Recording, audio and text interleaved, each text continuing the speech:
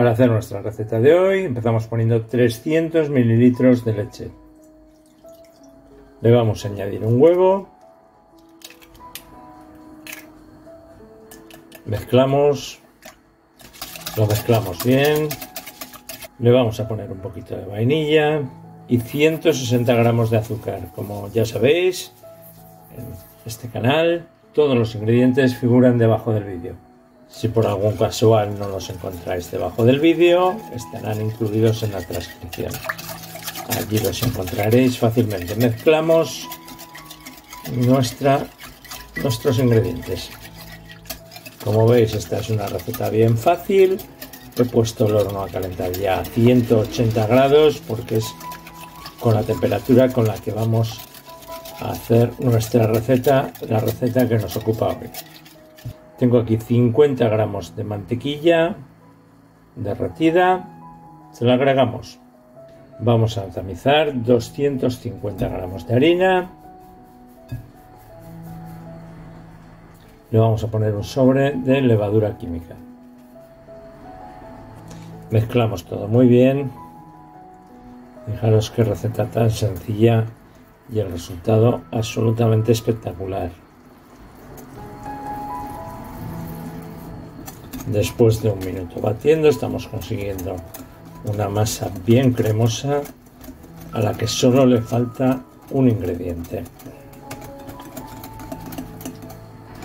Vamos consiguiendo mayor cremosidad y voy deshaciendo algunos grumos que quedaban todavía así que ya casi está listo el último ingrediente son los fideos de chocolate se los agregamos y mezclamos.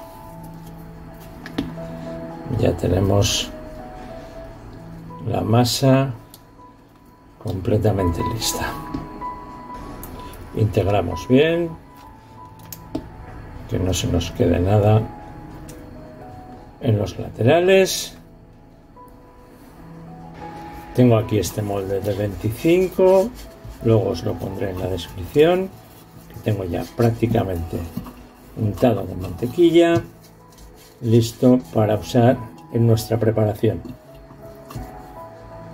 Ahora que ya lo tenemos listo vamos a verter aquí nuestra masa. Así. Vamos a darle unos golpecitos ligeramente. Lo tenemos ya listo para meter al horno 180 grados Después de 40 minutos de horneado, lo tengo aquí preparado sobre una rejilla para que se vaya enfriando. Lo voy a descubrir para que se vaya enfriando en todo. Fijaros qué pinta tan maravillosa que tiene. La vamos a dejar enfriar.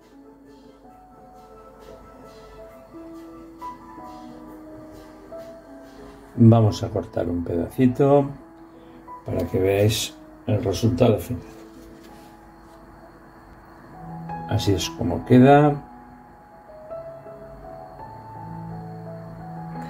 Mientras seguimos viendo nuestra receta de hoy, os recuerdo no olvidaros suscribiros, activar la campanita de notificaciones, dejar un like, un comentario, compartir esta y otras muchas recetas por mi parte. Nada más, muchísimas gracias.